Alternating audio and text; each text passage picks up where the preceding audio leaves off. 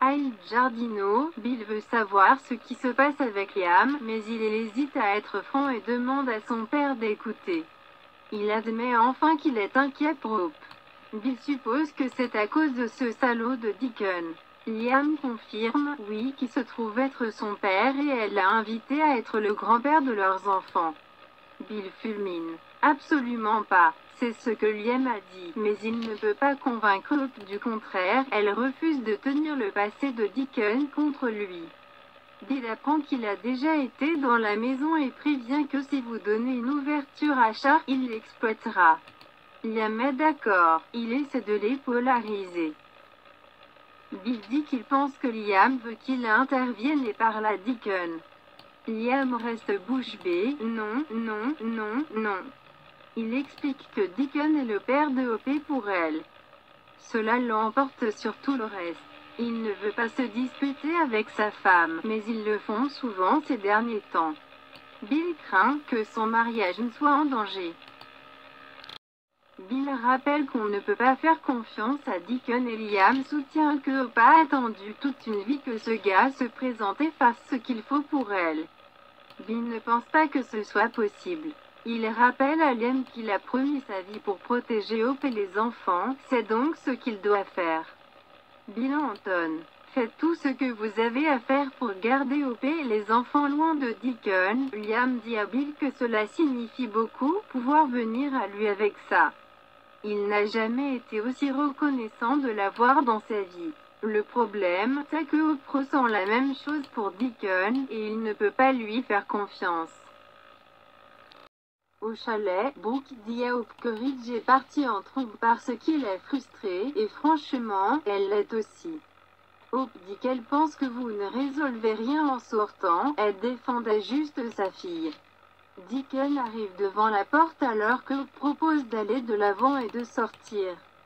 Elle ne veut pas que sa relation avec son père cause des problèmes dans son mariage. Deacon entre et dit « Je ne veux pas que ma fille se sente mal à propos de quoi que ce soit. » Deacon dit qu'elle sait que sa présence cause des problèmes et qu'il déteste ça. Hope dit qu'elle ne veut pas qu'il s'inquiète à ce sujet. Deacon fait semblant d'être choqué lorsque lui dit que Ridge lui a dit d'emmener sa famille et de trouver un autre endroit où vivre. Il se met alors à écouter Ridge Hope de l'extérieur.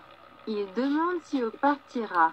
Hope dit qu'elle y réfléchit, mais Brooke intervient pour dire qu'elle ne le permettra pas. Deacon dit qu'il est heureux, mais qu'il craint que Ridge ne soit pas à bord. Il souligne que c'est la maison de Brooke et Ridge n'a pas le droit de dire à Hope de partir. Brooke lui rappelle qu'ils sont mariés et dit que Ridge est juste frustré. Deacon s'émerveille. Alors il menace d'être expulsé? Brooke dit qu'elle ne laissera pas une expulsion se produire. Elle dit à Hope à quel point il est important pour elle de la voir avec ses enfants. Deacon dit qu'il veut la même connexion avec Hope et les enfants. Je veux ressentir cette joie, je veux créer ces souvenirs. Je veux être une famille. Hope s'illumine à ces mots alors que Brooke regarde et sourit. Hope rappelle qu'elle a commencé à lui écrire en prison parce qu'elle voulait reconstruire leur relation. Elle dit à Deacon qu'il n'est pas une mauvaise personne, un danger ou une menace. Quiconque doute de son jugement devra simplement l'accepter. Deacon fait savoir à Brooke que son soutien à cet égard signifie plus que des mots. Chez Forrester Création, Ridge conteste le fait que Steffi déclare que cette femme n'en vaut pas la peine. Thomas récapitule ce qui s'est passé chez Brooke. Et Steffi réitère qu'il n'est pas seul dans ce cas, il a une autre famille qu'il soutient, qui comprend également leur mère. Ridge fulmine à propos de la situation dans laquelle il se trouvait dit qu'il pensait qu'ils avaient laissé Deacon derrière eux il y a longtemps.